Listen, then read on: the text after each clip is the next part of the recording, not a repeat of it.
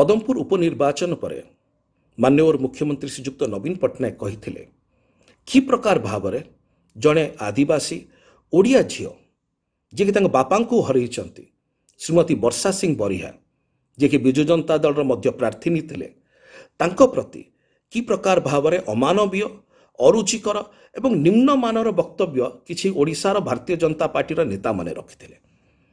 ମାନ୍ୟବର ମୁଖ୍ୟମନ୍ତ୍ରୀ କ'ଣ କହିଥିଲେ? ଏତିକି ତ କହିଥିଲେ। କି ମୁଁ ଅତି ବିନମ୍ରତାର ସହିତ ଅନୁରୋଧ କରୁଛି ଅପିଲ କରୁଛି କି ଆପଣମାନେ ଜଣେ ମହିଳା ଯିଏ ଆଜି ସାଧାରଣ ଜୀବନରେ ପଦାର୍ପଣ କରିବାକୁ ଚାହୁଁଛନ୍ତି ଯିଏ ପବ୍ଲିକ ଲାଇଫକୁ ଆସିବା ପାଇଁ ଚାହୁଁଛନ୍ତି ଆସୁଛନ୍ତି ତାଙ୍କ ସହିତ ଏ ପ୍ରକାରର ଅସମ୍ମାନ ନ କରନ୍ତୁ। ଏଇଟା ଓଡ଼ିଶାବାସୀ କେବେ ଗ୍ରହଣ କରିବେ ନାହିଁ ଆଜି ବୋଲି ନୁହଁ ଆଗାମୀ ଦିନମାନଙ୍କରେ ମଧ୍ୟ। ବରିଷ୍ଠ ଭାରତୀୟ ଜନତା ପାର୍ଟିର ନେତା ଶ୍ରୀ ରମାରଞ୍ଜନ ବଳିଆର ସିଂଙ୍କର ଆଖିରେ ଲୁହ ଥିଲା।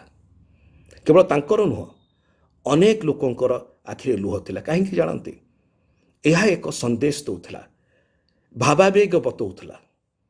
ମନର ଭାବନା କହୁଥିଲା କି ଯେତେବେଳେ ଏ ପ୍ରକାର ଅସମ୍ମାନ କରାଯାଏ ଜଣେ ନାରୀ ସହିତ କି ପ୍ରକାର ଭାବରେ ଏହି ଆଖିର ଲୁହ ଜଣେଇଥାଏ କେବଳ ଓଡ଼ିଶାବାସୀଙ୍କର ମନର ଭାବନା ନୁହଁ ବିଶେଷ କରି ମହିଳାଙ୍କର ଏଥିରେ ମନର ଭାବନା। ଓଡ଼ିଶା ଭାରତୀୟ ଜନତା ପାର୍ଟି କି ପ୍ରକାର ସନ୍ଦେଶ ମହିଳାମାନଙ୍କ ପ୍ରତି ଦେବା ପାଇଁ ଚାହୁଁଛି। ବିଶେଷ କରି ସେଇ ମହିଳାମାନଙ୍କ ପ୍ରତି ଯେଉଁମାନେ ଆଜି ପବ୍ଲିକ ଲାଇଫକୁ ଆସିବା ପାଇଁ ଚାହୁଁଛନ୍ତି ସାଧାରଣ ଜୀବନରେ ପଦାର୍ପଣ କରିବା ପାଇଁ ଚାହୁଁଛନ୍ତି ଅଂଶଗ୍ରହଣ କରିବା ପାଇଁ ଚାହୁଁଛନ୍ତି।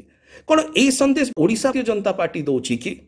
କି ଯଦି ତମେ ଆସିବ ଯଦି ଆପଣମାନେ ଆସିବେ এই ସାଧାରଣ ଜୀବନକୁ ତାହେଲେ ଏ ପ୍ରକାର ଆପଣଙ୍କୁ ଲଜ୍ଜିତ ଏବଂ ଲାଞ୍ଛିତ କରାଯିବ।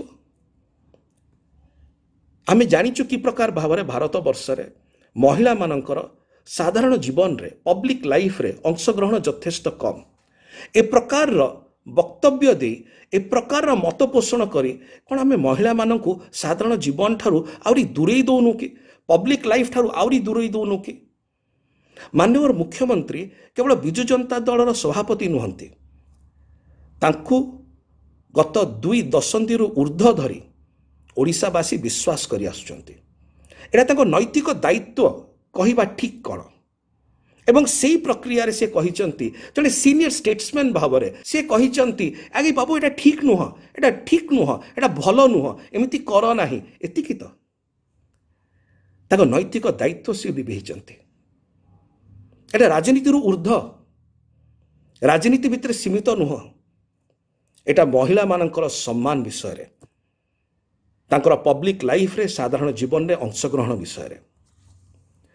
ମାନ୍ୟବର କେନ୍ଦ୍ରମନ୍ତ୍ରୀ ଶ୍ରୀ ଧର୍ମେନ୍ଦ୍ର ପ୍ରଧାନ ଯଦି ଏଇ ଭାବନାଟିକୁ ବୁଝିପାରିଥାନ୍ତେ ତାହେଲେ ଭଲ ହେଇଥାନ୍ତା। କି ଜଣେ ନାରୀର ସମ୍ମାନ ବିଷୟରେ ଏଇଟା ଥିଲା।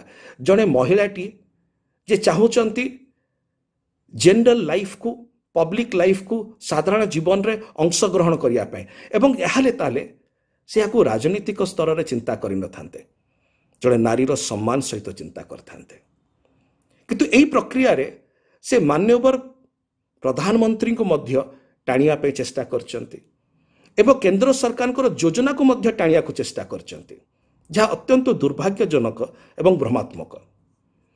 ଆମର ସମ୍ପୂର୍ଣ୍ଣ ବିଶ୍ୱାସ ରହିଛି କି ଆମ ଅତି ପ୍ରିୟର ମାନ୍ୟବର ପ୍ରଧାନମନ୍ତ୍ରୀ ଏବଂ ଭାରତୀୟ ଜନତା ପାର୍ଟିର ଯେଉଁମାନେ ଶୀର୍ଷ ନେତୃତ୍ୱ ଅଛନ୍ତି ସେମାନେ ମଧ୍ୟ ଯଦି କୌଣସି ନାରୀ ସହିତ ଏ ପ୍ରକାର ଅସମ୍ମାନ ହେଇଥାନ୍ତା ସେମାନେ ମଧ୍ୟ ଦୃଢ଼ତାର ସହିତ ନିନ୍ଦା କରିଥାନ୍ତେ ବୋଲି ଆମର ସମ୍ପୂର୍ଣ୍ଣ ବିଶ୍ୱାସ ରହୁଛି।